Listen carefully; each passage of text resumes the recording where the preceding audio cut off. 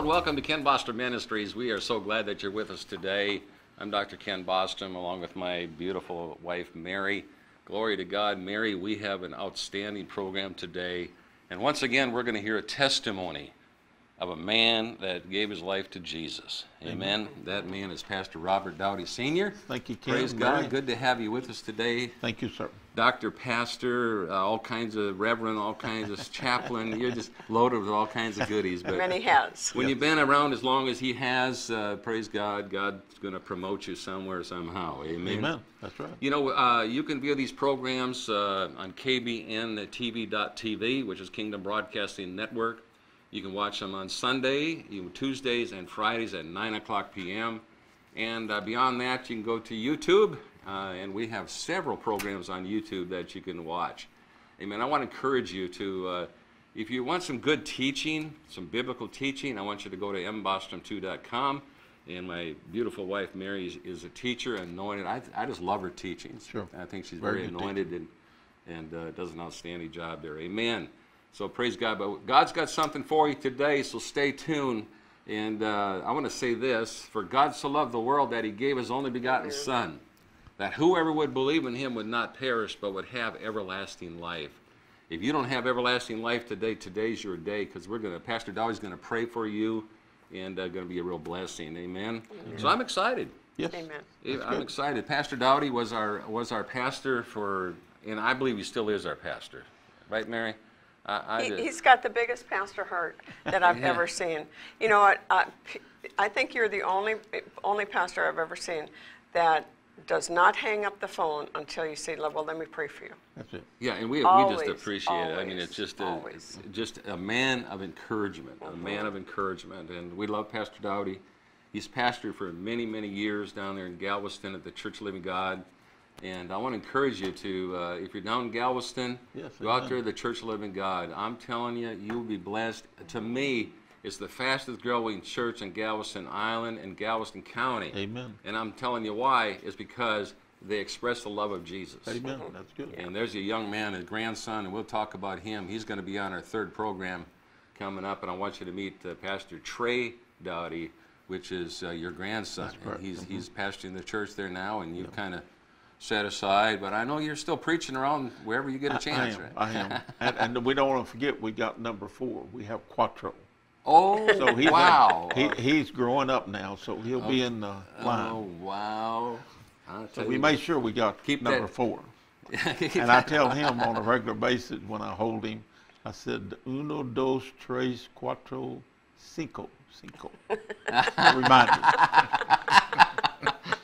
Well, Pastor Dowdy, uh, you know, um, there's a time in our lives that we have to come to know Jesus. Yes. I mean, you know, the what happened back there in the garden a long time ago has separated man from God, That's and the correct. only way you're going to get back to God is to ask Jesus to come into your life, Yeah. to Amen. confess Him as Lord, and Yeah. believe in your heart that God raised Him from the dead, and you'll Yes. be saved. So, share your testimony with us today, Pastor. Thank you very much. It, it, it began, I was born in Texas City, Texas. Uh, I was born in the 30s, so I'm 80 years old now. And uh, I can remember, uh, you know, we used to play outside. Today they play on computers and, and phones and that kind of stuff. But we used to play hide and go seek, all the different things. In the spring, you'd lay out in the clover and all that. So when I was probably about seven, eight years old, uh, all of us have a story. I laid out in the clover, and the moon was shining that night real bright. It's spring night. And uh, I looked into heaven, and I just said to myself, if there's a God, I'd like to know him. Now, uh, I, my, my family wasn't heathen people, uh, but they wasn't church going people. And uh, so consequently, church was something we did just, uh, you know, Easter and Christmas and, and, and events like that. And so uh, as my life began to evolve, when I was about 12 years old, they took me to church and uh, they decided I need to be baptized, water baptized. Well, it didn't wash away my sins. It just got me wet and I come up and I continued with my lifestyle, you know, whatever it was at that particular time. And uh, I used to go to church and, and I have a, mysteri- uh, a mischievous uh, little personality about me. I'm all the time, you know, either ribbing people or getting ribbed and, and I do different things. Uh, and I remember one day when I was 15 years old, this is very vivid to me. uh, Dad sent me, he took me to church that day, and he said he'd come back and get me. And I said that church, I used to carry me a little straw, and I'd cut it off about that long. And I'd chew paper, and I sat in the back of the church. And um, of course, these ladies had these hats on in those days, and um, all the different hairdos. Well, I, I made sure I hit all of them I could. now, you say, Pastor Dowdy, that's not a good thing to do in church. Well, you know, at least I was in church. And um, uh, I was convicted that day. Now, I was 15 years old. I was convicted, and I went down. And, pastors, I want to say for you that's listening today, mm-hmm. when people come to you, one of the first things you need to do is to make sure that you talk to them about receiving Jesus Christ. Amen. I went down. I don't accuse anybody of this, uh, but he missed the golden opportunity. He said, Bobby, he said, uh, uh, have you been baptized? I said, yes, sir. And uh, he said, you come for prayer. Well, you know, you don't know what you're coming for, really. Right. You, you just know there's a conviction. Yeah. There's a guilt in your life, but there comes that Holy Ghost conviction. And so he prayed for me, and I left out of that church. Well, on that particular day that I left out, uh, my life kind of just went south, as we'd call it. It went sour, so to speak. Mm-hmm. And I got myself involved in some things uh, today that I'm not proud of. But there again, God covered it with the blood. The blood is is absolutely yeah. a sure thing. Once your yeah. sins, even though as red and ugly as they are, uh, they can be covered by the blood of Jesus Christ. You know, we sing that song, What can wash away my sin? Nothing, Nothing but, the blood, of Jesus. Jesus. What can make me whole again? Nothing, Nothing but, the, blood, but the blood of Jesus. And once you begin to learn it as a Christian, uh, mm-hmm. then you know, even if you do miss it occasionally, uh, you have that covering and you have forgiveness. Forgiveness is a big thing. And so my life began, and, and uh, my first wife, uh, uh, I've been, I've had the unfortunate thing in my life. I've buried two wives from cancer, but my first wife, the mother of my children, she came into my life shortly after that. Now we have to remember, uh, back in those days, I was raised up through the 40s. I remember World War II. Uh, I lived through the Texas City explosion, which was a, a big event in this country. Huge. It's the biggest natural disaster, yeah. not natural, but uh, uh, disaster the country's ever known. Mm-hmm. Uh, much over 500 people, and of course, we lived under martial law. A lot of things happened to us. And so I remember all those events that took place in my life pretty vividly. And uh, we, we, were, we had to grow up fast in those days. Mm-hmm. My parents grew up real fast. So working was just a part of our life. I went to work when I was 11 years old. And I know it make people faint today, but that's just how it was. And uh, uh, mother told me one day when I was about 11, maybe 12, something like that. She said, "You're you're too old to be sitting around." So she mm-hmm. found me work. Uh, I did something to gain some money. Yeah. And remember, a nickel was a lot of money in those days. Mm-hmm. A quarter you was rich. Yeah. And if you had a four-bit piece, uh, you really had a lot of money. Okay, what's those a, are the what's things. a bit piece? yeah, you don't know what a four-bit piece is? No. It's, it's 50 cents. Oh, okay two bits, four bits, six bits. Okay.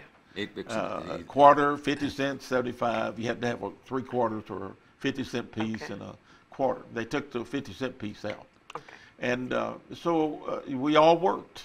It was from all of my family. I come from a family of five. So you went to work early. In other words, you were did too. thrust into life and you had to make it. In fact, my dad told me when I was about 14, he said, when you graduate, you're out.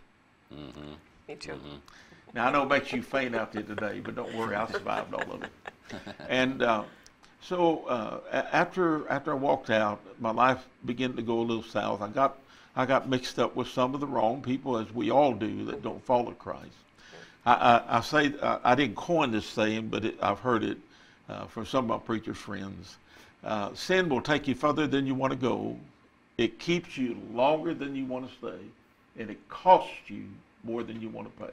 Yeah. And so uh, my life kind of went south on me. And uh, I met my first wife when I was 15. And uh, she used to say this about me years later when we do marriage uh, seminars. Uh, she would tell the people that was there, she said, now, Bobby thought he knew everything when he was in his ten, teens. And he tried to prove everything he thought he knew when he got in his 20s. And then when he got into his 30s, he began to apologize for everything he thought he knew that he tried to prove and said he's pretty decent now.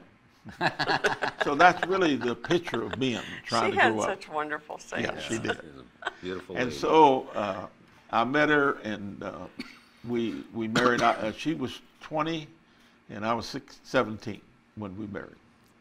And uh, I just knew I could make it. Uh, I, I've never. Now, I t- tell the congregation, listen. There is a fear factor in all of us. That's from the sin nature.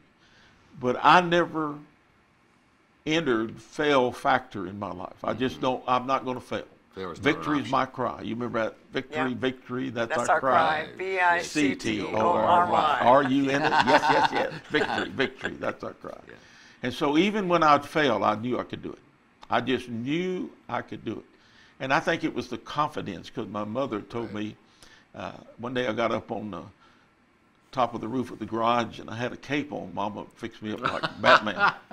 Superman. and I thought I could fly. And I jumped and I hit the ground. I went in and I was crying and uh, I said, Mama, I can't fly. And she looked at me and she said, uh, Your name's not Kent. Can't. Your name There's is Bobby Robert Dowdy. Dowdy. yeah. And you can, do, do anything, you want you to do. And so that was instilled into my life. Yeah. She'd tell me that all the time. And then she'd fix me a, a peanut butter with apple butter in it. Oh, you know, like I said, she'd make it stick it high. So when you got the bread together, you can, excuse me, lick it around the side. And uh, so Darcy and I, we, we started our life. We moved out immediately as soon as, uh, you know, I went to Navy boot camp. I joined the reserve. They had a program then. As soon as I got back, I had a little change in my pocket, and I rented me a place, and we got married, and we started a life. Now, I've never turned around to go back home. I just, I refuse to, once you start something, I refuse to Right. quit, period Right. whether it was good or bad. I just went ahead and worked worked it out. And uh, we had our first child. This was uh, Tra- Pastor Trey's father. His name is Robert. Uh, my, I'm senior. There was Robert Jr. and there's Robert three. And we got Tra- Quattro now. And so uh, uh, when he was just uh, he was born with a hernia. And remember now, the, the hospitals were quite different back then. Right. I call them a one-horse hospital, little small things. Yeah. And the doctor said we need to wait till he's at least six months to repair it. Showed us how to work with him and and uh, and to help him. But on the 29th day, and your insurance didn't kick in to 30. So on the 29th day, we ended up uh, probably midnight, one o'clock at the hospital, uh, and uh, he couldn't get the hernia back in place, and Robert was crying just uncontrollably, and uh, so they took him immediately from it, and the doctor told me, he said, now, he has about a 50-50 chance. It doesn't look good, uh, told Darcy and I. And so in, in sitting in the waiting room, now, at that time of night, you don't have cell phones. You have pay phones.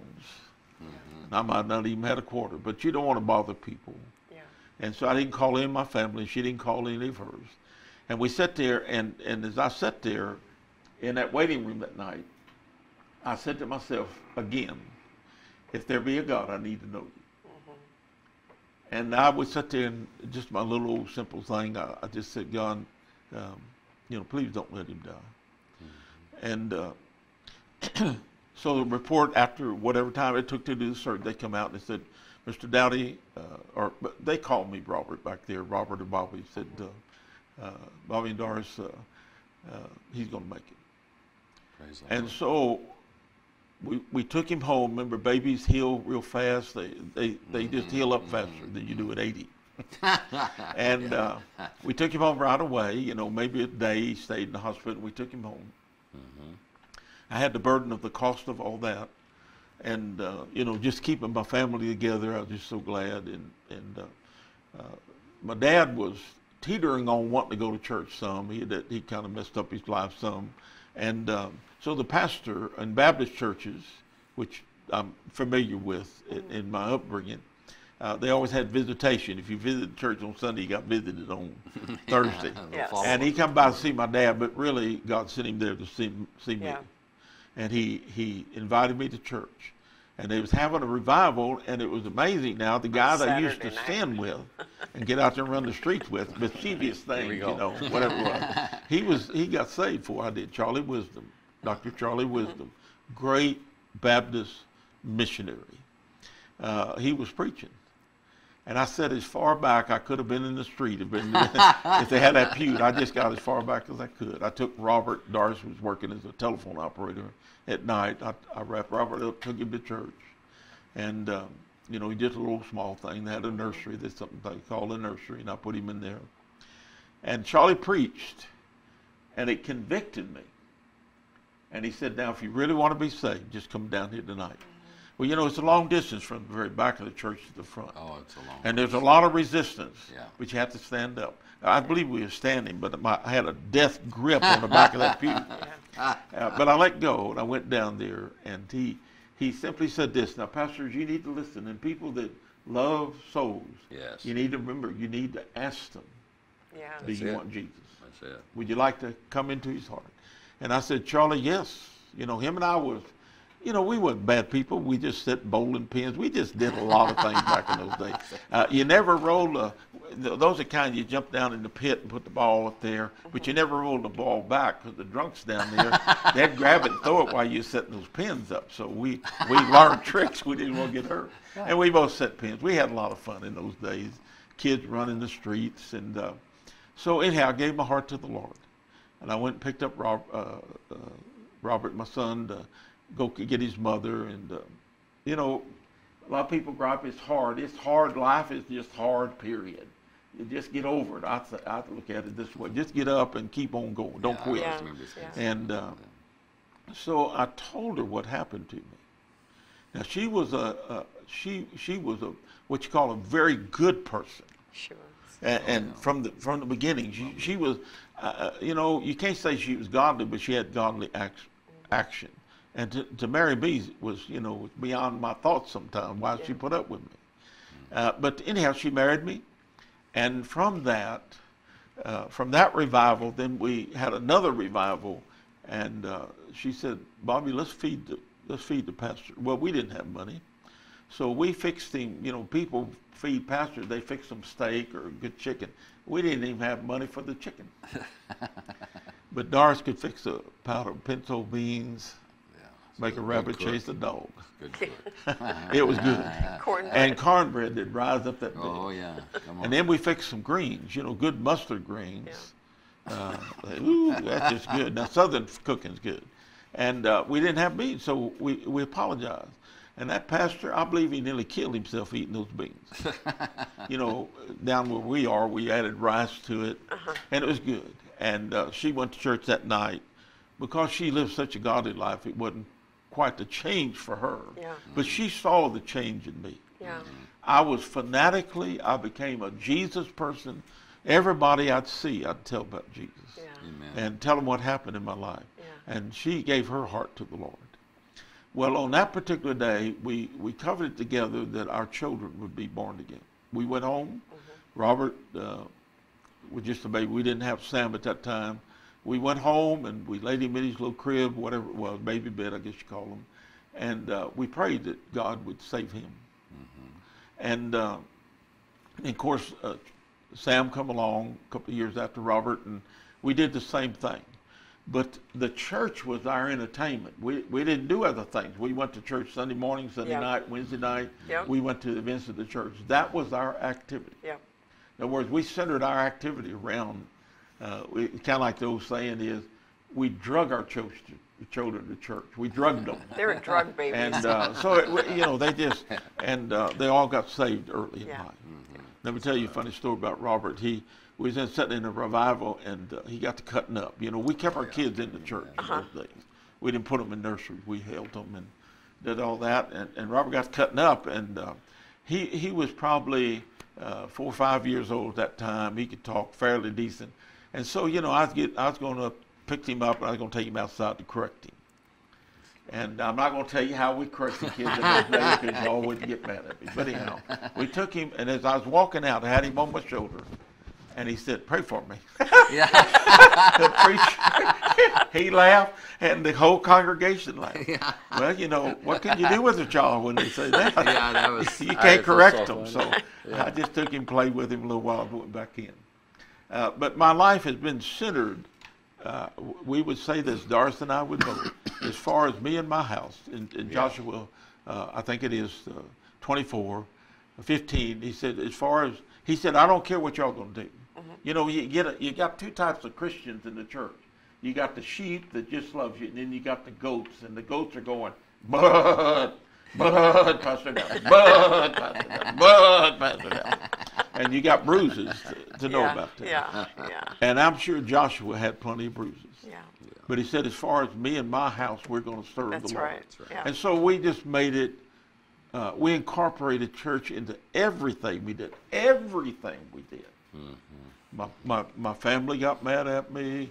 Uh, they didn't like it because I wouldn't go out and do the things I used to do. I used to could dance pretty good, and with dancing comes drinking, all that kind of stuff. And we had to separate ourselves to a degree from our Yeah. family to to make serve the Lord. But all of them got saved. Yeah. One night we heard uh, uh, the preacher preach on Acts 16 about the jailer and Paul, you know, Yeah. he got thrown in jail and Mm-hmm. uh, Philippi, and, Paul and and God delivered him. but He didn't run off. And the guy said, What must I do to be saved? He said, Believe on the Lord Jesus Christ and you'll be saved. And we had did we'd done that by then. Mm-hmm. But your whole family. Now Darcy and I was raised. She was raised as children of nine. I was raised in five. And at, at, at that point, none of them really had come to know the Lord. And we went home that night. It was our way of doing things. We went home and prayed, knelt down, and we both said to ourselves and said it out loud to each other: Our whole family is going to be saved. And uh, it's a fact. Uh, I'm going to see them all. Because my daddy, I remember the first time I preached, and daddy come and heard me. And he walked down, and he never told me he loved me. Uh, ever in my life. And he walked down, he said, Bobby, I love you. I said, well, you know, daddy, I appreciate you telling me that, but we got to get you saved. Tears was in his eyes. So one by one, throughout all the incidents, Darcy's family and my family, they came to know the Lord. yeah. So salvation is real. It's And it takes real, place. Very real. Totally and I do want to say this in, in portion of my testimony is how many of you have wept over souls? Yeah. How many of you have ever got out on your knees and said, God, just give me another one? Yeah. Yeah. Praise. Everywhere I went, I witnessed it. Yeah. Now, I might do it a little different than my grandson will tell you about. I didn't have a Walmart. it, wasn't, it wasn't even a thought in anybody's mind. Yeah. But I had the field was wide into harvest. So I, I witnessed on my job. I witnessed everywhere I went. Everywhere I went, I mm-hmm. talked about the Lord. Well, what better person? You know, of course, you had to talk about your jobs and all the work, but what better person to talk about Yeah. Yeah. Absolutely. than the Lord? I remember you, You know- talking about on Sunday afternoon, you put a bandana on and you'd go to, go on the, On the- on the the beach. beach. Yes. And talk to people. That, all- that's all another day one. long. Uh, when his father, Trey's father, was alive, he, he was extremely turned on. And remember, iron sharpens iron. Yeah. And uh, we would go down on Sunday afternoon during the big beach crowd in in Galveston. It's on Seven Mile Road where the church is located. And you can still drive your car out on the beach that time. Yeah. And we'd go down there with tracts and we'd go from car to car and where they'd have the tents up or whatever. And we'd go and I put on my bandana and bathing suit and a t-shirt. And we'd go down there and we'd just go up there and give people tracts. And um, I went up to one guy and I'll end with this story and I, I gave him a tract. Amen. And uh, he told me, you know, I'm going to tell you what to do with it. Well, you can only imagine what he wanted to tell me. but he could never get the words out. Yeah. Never get the And he kept out. the tract. So only God knows. All right. You know, we want to my give God you an opportunity. You've heard uh, a testimony of Pastor Robert Dowdy Sr. here, and uh, it's very touching.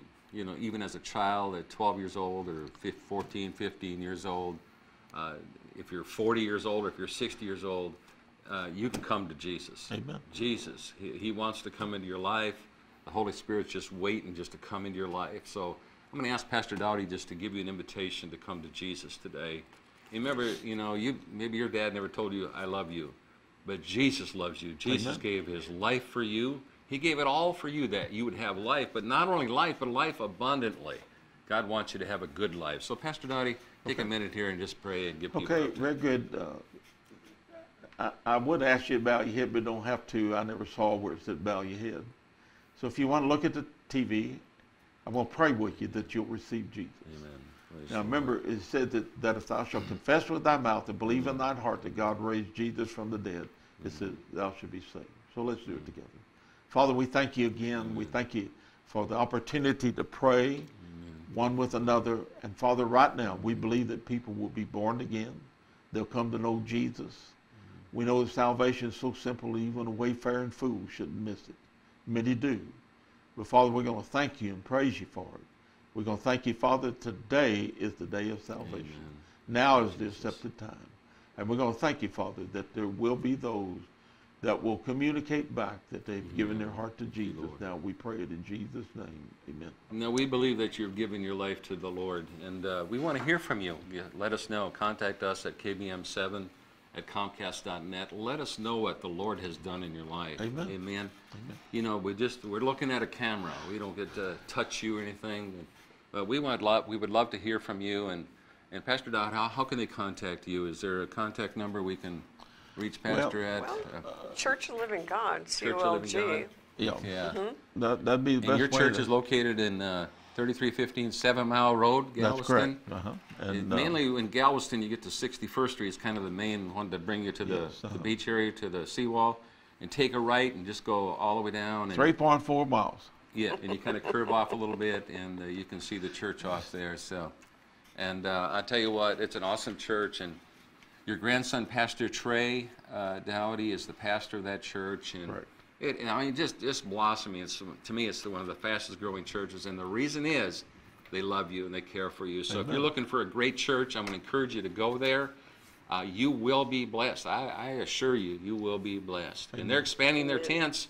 They got a place now on the uh, east uh, east side. Do I say east side? Yeah, or- right. and uh, which is a kind of a new new uh, new area. And we're going to talk more about that on the third program, and, uh, and it's going to be awesome. Pastor Dowdy, Thank you. Thank you so much, You sir. betcha, sir. You are blessed. I'm Thank telling you. you, and we Thank are you. blessed just to just Thank knowing you. you. Thank Amen. you. Thank Known you. you since 1992. And Yeah, knowing the that long? family. So, 1992. Good. You, God- you were our teacher in Bible school. yeah, Okay, that's that's right. right. 1992. We Yeah. Pastor Dowdy is one of our teachers. So God bless you. We thank you for joining us today, and we love you. And Jesus is, Is Lord. Lord. God Amen. bless you. Amen. Amen.